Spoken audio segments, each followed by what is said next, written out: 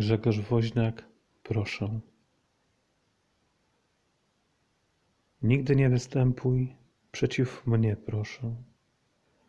To sztylet wzniesiony, ja cię w sercu noszę. Ja przeciw tobie nigdy nie wystąpię.